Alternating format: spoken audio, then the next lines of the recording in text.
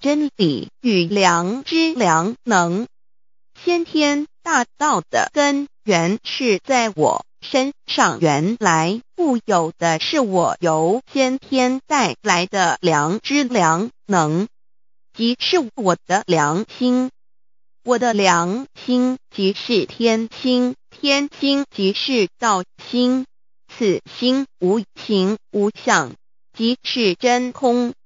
真空之妙，空而不空，空中妙有。妙有者，生天生地生人生万物万类之大本也；妙用者，万灵真在也，主宰天地人万物万类之真主宰，亦即是主宰我之一身。故曰道在无身，一切万能；道离无身，此身在无异能。先天大道如此宝贵，乃人人必须追求之道也。三求道是求什么？静心观察我们所存在的这个宇宙，我们往往会赞造物主的神奇。自然界每一刻皆有无数的事物在同时运转。而其整体却又是那么协调。我们身上的这个真理不也是一样吗？每一分一秒，我们身上皆有无数的生化反应、物理作用等同时发生。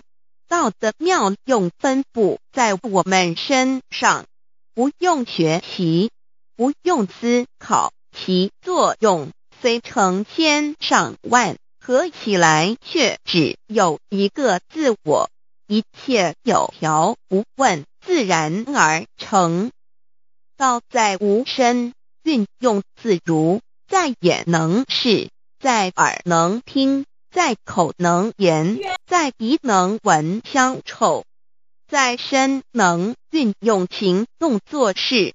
此即道在我身之。妙用，所以我们了解了道不止主宰着天地万物，更主宰我们一身。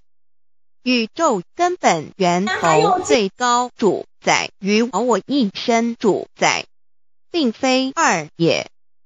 道的本体无形无相，我们肉眼看不到它，手也摸不到它，但它。却无时无刻不在发挥其妙用，更进而随着天。